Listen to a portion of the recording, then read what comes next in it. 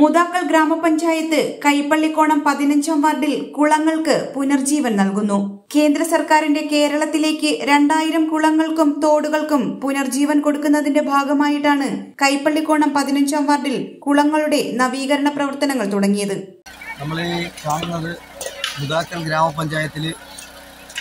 പതിനഞ്ചാം വാർഡ് കൈപ്പള്ളിക്കോണം പതിനഞ്ചാം വാർഡിൽ ഒരു ഏക്കറിൽ പരം സ്ഥലത്ത് സ്ഥിതി ചെയ്യുന്ന താമരക്കുളം.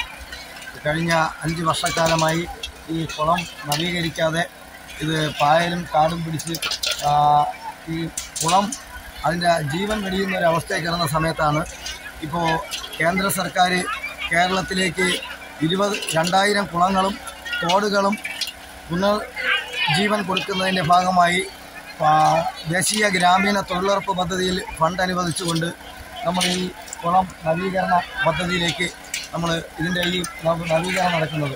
നൂറിൽ പരം തൊഴിലുറപ്പ് അമ്മമാരും തൊഴിലാളികളും ഇവിടുത്തെ നാട്ടുകാരും ഒക്കെ തന്നെ ഉത്സവമായി കണ്ടുകൊണ്ടാണ് ഈ ഒരു രണ്ട് മൂന്ന് പകലും രണ്ട് രാത്രിയുമായി ചേർന്ന് നാല് ജനറേറ്ററുകൾ സ്ഥാപിച്ചുകൊണ്ട് ഈ വെള്ളം മൊത്തം പമ്പ് ചെയ്ത് കളഞ്ഞ് ഈ കുളം ഇത്രയും വൃത്തിയാക്കാൻ വേണ്ടിയിട്ടുള്ള ഒരു ഒരു പദ്ധതി നമ്മൾ നടപ്പിലാക്കിയത്.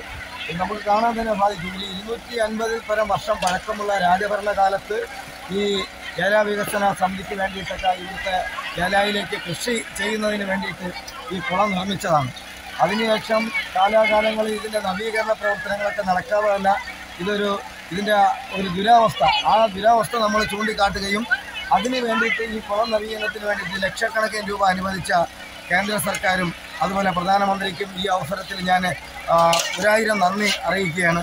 നമ്മുടെ ഇതുപോലുള്ള വൃത്തിഹീനമായി കിടക്കുന്ന നിരവധി കുളങ്ങളുണ്ട്. കേരളത്തിൽ ഒരുപാട് കുളങ്ങളുണ്ട്. ഈ മുതാക്കൽ പഞ്ചായത്തിൽ തന്നെ എനിക്ക് തോന്നുന്ന ഒരു ഇരുപതിപ്പരം കുളങ്ങൾ.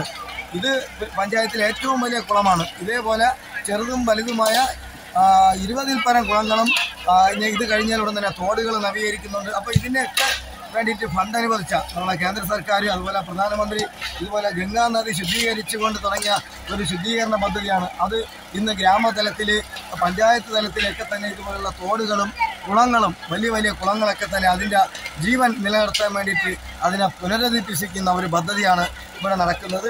ബി ജെ പി പതിനഞ്ചാം ward member Poovanathumoodu Biju convener Sivaprasad chairman Anilkumar ward സമിതി അംഗം മനു തൊഴിലുറപ്പ് വാറ്റുമാരായ അംബിക സിന്ധു ലതിക തൊഴിലുറപ്പ് എ ഇ സുജ തുടങ്ങിയവർ കുളനവീകരണ പ്രവർത്തനങ്ങളിൽ പങ്കെടുത്തു. H P news Attingal.